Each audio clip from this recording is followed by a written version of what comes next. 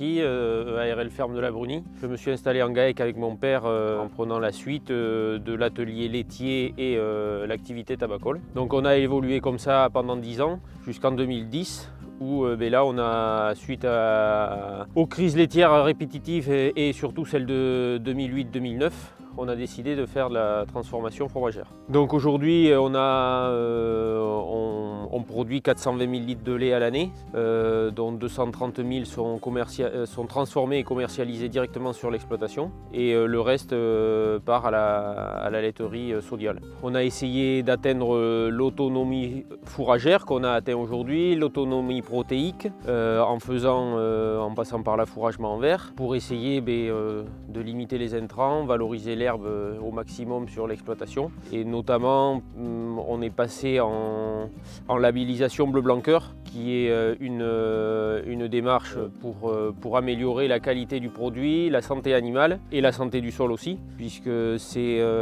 c'est un label reconnu par le ministère de la Santé et de l'Environnement qui prône voilà, la concentration en oméga 3 dans, les produits. Donc euh, c'est surtout sur la ration hivernale où on est euh, bon, à base euh, d'enrubanage de, luzerne et une base de maïs aussi.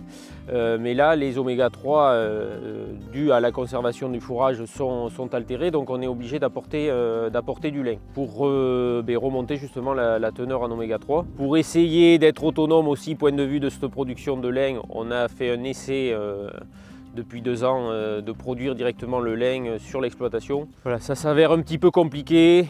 Euh, parce que c'est une culture qui a besoin de beaucoup de soins, encore plus qu'une céréale, euh, beaucoup d'intrants, de, produits euh, phytosanitaires qui va un petit peu à l'encontre de mon, objectif aujourd'hui. Donc l'affouragement en verre, on a fait déjà ce choix-là au départ par rapport à la structure de l'exploitation parce qu'on a des, un parcellaire très morcelé et très éloigné. Pour mener les animaux à la pâture, c'est très compliqué.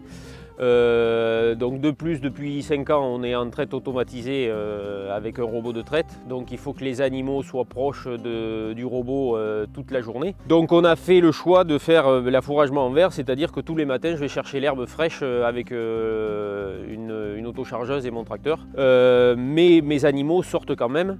donc depuis le 1er mars, ils ont, ils ont accès à une pâture de, 5 hectares qui se trouve autour du, bâtiment. Mais euh, voilà, le plat principal est apporté euh, par affouragement en verre. Point de vue, euh, économique, il n'y a pas photo. Hein. On est sur, des rations hivernales, on est à 110 à 120 euros le millilitre. Les rations d'été, on est sur du 70-80 80 euros les 1000 litres. Le label Bleu Blanc veut qu'on soit exclusivement avec de l'alimentation française, sans OGM. Ça fait 5 ans maintenant que je me suis mis à faire du lupin pour remplacer ce, concentré, euh, ce concentré que j'achète dans le commerce qui est le colza. Aujourd'hui je vais dire je suis à peu près à 80, entre 90 et 95% autonome que ce soit en fourrage. Fourrage tout est produit sur l'exploitation. Après le concentré, euh, voilà, j'achète euh, on va dire à peine 20 tonnes de, colza sur l'année. Donc depuis que je suis passé à une ration comme ça, à base d'herbe, j'ai vu un net, net progrès de l'évolution de la santé animale, ce qui m'a permis de passer euh, en médecine homéopathique euh, à 100%. Et donc depuis trois ans maintenant, je n'ai plus fait du tout de traitement antibiotique. Donc comme fromage aujourd'hui, eh on fait un petit peu tout ce qui est à base de lait. donc on part du, fromage classique, le petit fromage lactique, le fromage frais.